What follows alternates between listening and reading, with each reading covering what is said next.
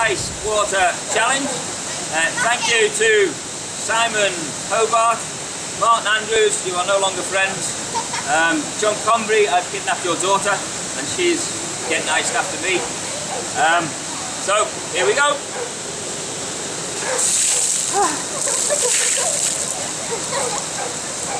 Okay, that's cold. I nominate Rachel Tate, Georgia Tate and Emily Tate. Okay, bye.